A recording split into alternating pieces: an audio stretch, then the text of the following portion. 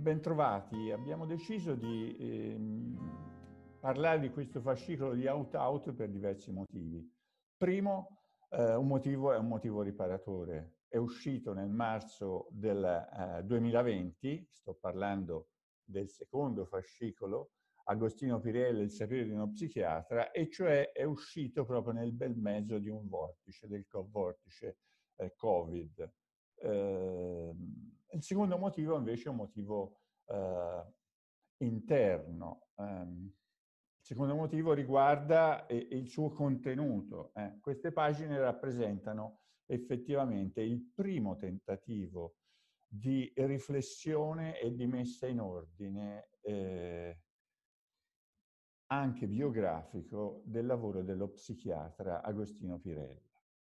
Eh, un lavoro realizzato eh, che parte dall'ordinamento della sua biblioteca e del suo archivio che il figlio Martino ha, ha subito dopo la morte del, del padre voluto donare alla, al Dipartimento di Arezzo. Il fascicolo contiene alcuni eh, saggi originali di Pierangelo Di Vittorio, Marica Setaro, Mario Colucci e insieme a questa c'è anche la prima lezione Pirella tenuta ad Arezzo nel maggio del 2019 da Vittorio Lingiardi. Ma ci sono anche alcuni scritti inediti e, e, e poco noti di eh, Agostino Pirella un fascicolo che ha alle spalle, e questo va detto, un lavoro invisibile ma fondamentale, e cioè il lavoro archivistico dello staff aretino curato da Luca Lenzini e da Lucilla Gigli. Il titolo eh, è eh, secondo me molto indicativo e molto significativo non è eh, Agostino Pirella lo psichiatra, ma il sapere di uno psichiatra. È un titolo molto largo, è un titolo che ha a che fare con la battaglia di critica alle ideologie e alle istituzioni psichiatriche, ma al tempo stesso è un titolo che si attaglia perfettamente a quello che è stato eh, Agostino Pirella, e cioè uno scienziato umanista e quindi è anche una biografia di un momento decisivo del Novecento.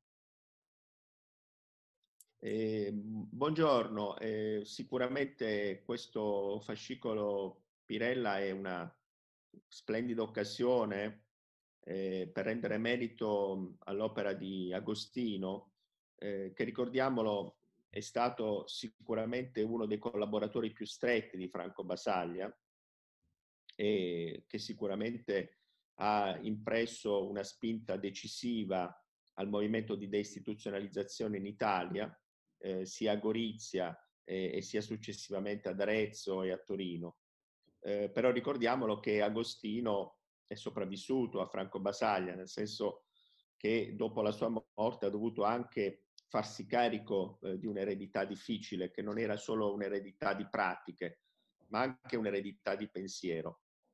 E su questo eh, io credo che eh, il fascicolo illumini eh, questa grande eh, pulsione di sapere, per riprendere il titolo eh, dell'intervento di Di Vittorio, che anima la psichiatria italiana e che può essere eh, sintetizzata in una frase che Agostino riprendeva dal filosofo Adorno, quando Adorno diceva pensare in modo che Auschwitz non si ripeta.